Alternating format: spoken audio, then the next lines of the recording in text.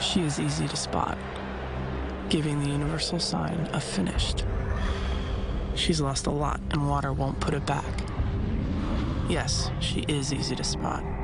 She is also easy to break.